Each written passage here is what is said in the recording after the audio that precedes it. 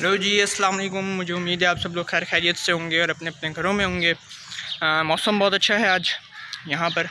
اور مجھے آج آپ لوگوں سے کرنی ہے کچھ بہت ہی امپورٹنٹ باتیں۔ تو پہلی بات تو یہ کہ میرے اس چینل کو شروع کیے ہوئے تقریباً ڈھائی مہینے ہو چکے ہیں۔ پہلا بلاگ آپ لوگوں نے دیکھا ہوگا مری والا۔ وہ میں نے شوٹ کیا، لیکن اس کے بعد میرے مزید بلاگ شوٹ کرنے کا کوئی ارادہ تھا نہیں۔ بس ہلکا پھلکا میں نے کہا کبھی کوئی ایونٹ آئے گا تو کچھ بنا لیا کریں گے۔ لیکن آپ لوگوں کا پیار محبت اور خلوص دیکھ کے نا بھائی سے رہا نہیں گیا۔ میں نے کہا یار نہیں بلاگس بنانے ہیں اور فریکوینٹلی بنانے ہیں ان شاء اللہ تعالیٰ۔ تو آج سے آپ لوگ جو ہے وہ فریکوینٹلی میرے بلاگس وغیرہ دیکھا کریں گے۔ تو لاک ڈاؤن چل رہا ہے، دکھانے کو کچھ خاص ہے نہیں آج کل، کرنے کو کچھ خاص ہے نہیں۔ لائف انٹرسٹنگ ہوا کرتی تھی، لیکن لاک ڈاؤن میں کوئی ایسا خاص انٹرسٹنگ ہے نہیں۔ ٹریولنگ بھی نہیں ہو رہی۔ تو میں نے سوچا کہ میں آپ لوگوں سے بیٹھ کے باتیں کیا کروں گا کچھ امپورٹنٹ مسائل پہ، کچھ امپورٹنٹ ایشوز پہ۔ آپ کا بھائی سائیکالوجی چھاڑے گا ان شاء اللہ تو کل کے کل کے تو نہیں، کل تو میں اپلوڈ نہیں کر سکتا، پرسوں ترسوں میں ان شاء اللہ تعالیٰ بلاگ اپلوڈ کروں گا۔ اس پہ میں ایک بہت ہی امپورٹنٹ بات کروں گا، خاص طور پہ ینگسٹرس کے لیے۔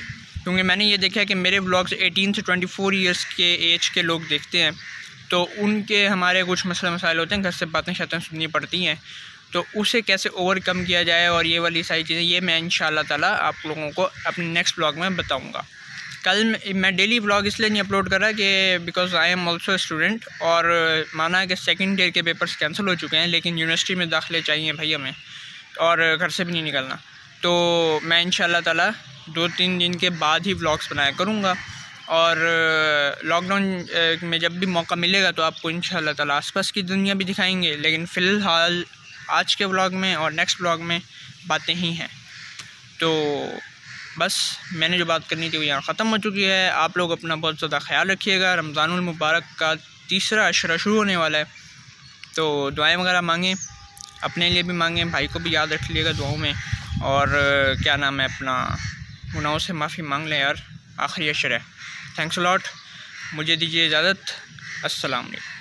اور ہاں اگر آپ لوگوں کو میرے پیچھے سارا کچھ وائٹ وائٹ نظر آ رہا ہے، تو میرا کوئی قصور نہیں ہے۔ آج دھوپ نہیں نکلی اور موسم بڑا ہی خوبصورت اور خوشگوار ہو چکا ہے۔